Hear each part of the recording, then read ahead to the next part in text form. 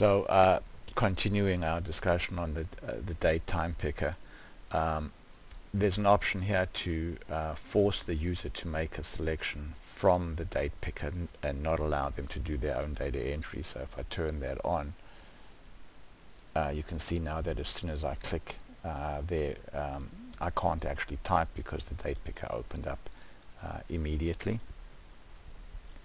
I can set the low date and the high date and I can also specify what uh, days are uh, disabled and we'll talk more about that uh, a little later.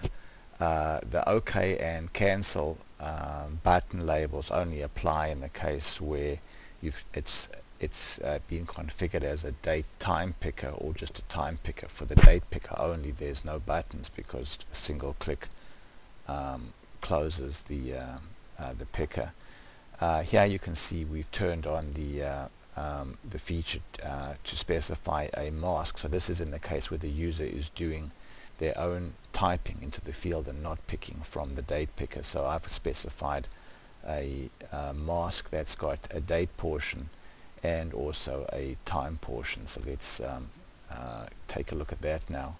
So now if I go into this uh, date picker and um, I start typing, so let's go and I type an A and you can see that nothing happens because an A doesn't meet the requirements of the masks.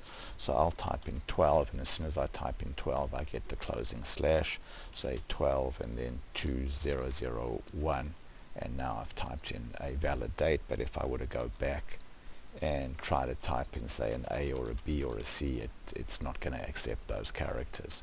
So uh, that's uh, um, how you can use the mask characters. Um, then another option uh, is to allow date ranges. So a date range is where you're using a single date field to uh, enter uh, two date values. So I've turned on um, allow date ranges here and I've specified that my separator uh, is a, um, dot dot. Now in the case of a uh, date range your mask would need to basically have um, a second instance of the mask to, uh, to allow for the second date. So just to keep it simple right now, I'm going to turn the mask off and now go here and uh, select my first date and then type uh, dot dot.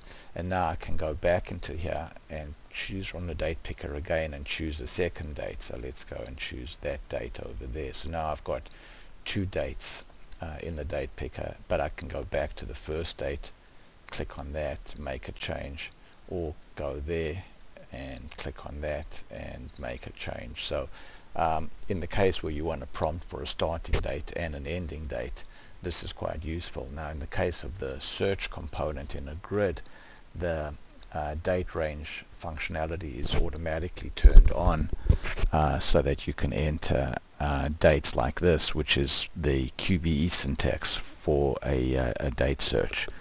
Um, so let's go back now to the to the builder, and um, uh, let's talk a little bit now about the low date and the high date. So the low date is basically the lowest date that you can pick on the date picker. So I can go there and I can just type in some explicit value um, and the high date is the um, the highest value that you can pick in the date picker. So I could for example go here and say that I want the highest date to be say November the 15th to 00 uh, 2011 and so now if I were to go to the um, date picker again and then switch over to months uh, you can see that I can't go past November the 15th now, um, the uh, high and low values, though, instead of being specified explicitly as as I've done here, can also be specified by a JavaScript function.